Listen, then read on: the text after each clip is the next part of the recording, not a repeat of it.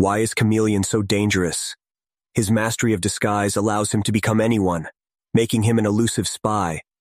His battles with Spider-Man have shown his ability to infiltrate and deceive at the highest levels. Chameleon's relationship with Kraven the Hunter adds complexity to his character, revealing a shared history. His skills in espionage and his ability to mimic others make him a threat in any situation. Chameleon's struggle with his own identity and his obsession with deception add intrigue to his story. Chameleon's blend of disguise, espionage, and personal struggle make him a multifaceted and dangerous adversary.